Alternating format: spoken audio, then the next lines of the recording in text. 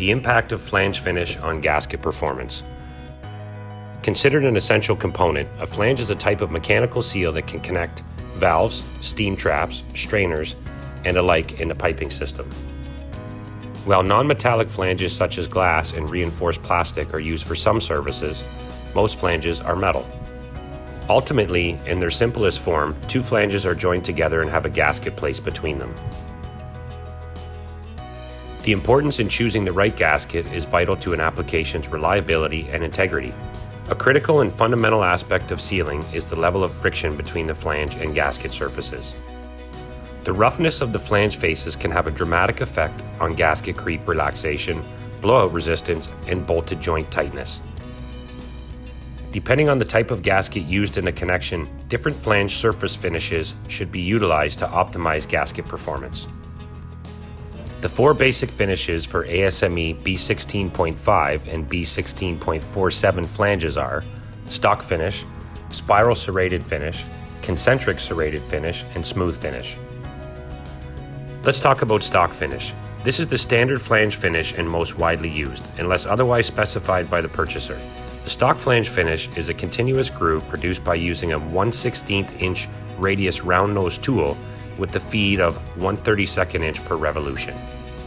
The spiral serrated finish is also a continuous groove like the standard stock finish in that the groove is generated with the 90 degree angle V tool. The groove is 1 64th inch deep and the feed is 1 32nd inch for all sizes. Concentric serrated finish. As the name suggests, this surface finish is made up of concentric grooves. A 90 degree angle V tool is used, and the grooves are 1 64th inch deep and 1 32nd inch apart. Finally, the smooth finish. This finish shows no visible serrations and is more common for low pressure or large diameter pipelines using spiral wound gaskets. Here are a few guidelines for a safe seal. A minimum seating pressure must be achieved to make the gasket material flow into the flange surface irregularities. When the ridge surfaces of a concentric serrated finish are closer together and the grooves, also referred to as the RA, are shallower, the flange area begins to resemble a smooth face flange, and hence there is more contact area. A spiral serrated finish is more difficult to seal than a concentric serrated finish because the gasket material must reach the bottom of the valley surface to avoid a spiral leak path from one end of the spiral to the outside. Now to summarize, the finish of the gasket seating surface has a definite effect on the ability of the gasket to create a seal.